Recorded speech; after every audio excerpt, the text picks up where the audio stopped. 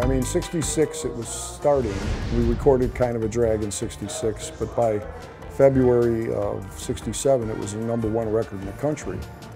And we continue, in those days, the record company, Columbia, they, they wanted a new song about every three months, you know, and they wanted to release, and we would have multiple songs on the charts at the same time.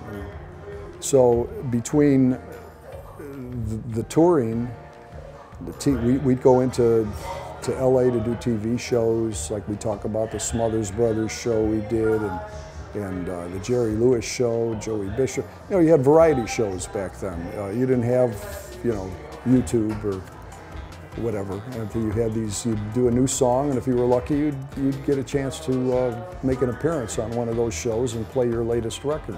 So that's what we did.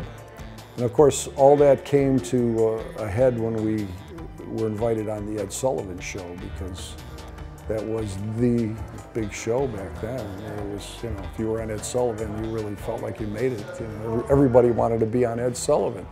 I mean, Elvis Presley was on Ed Sullivan, the Beatles, you know, and every everybody you could think of. So, uh, so that was, uh, you know, so but '67 it was between recording, touring, TV shows, teen magazines.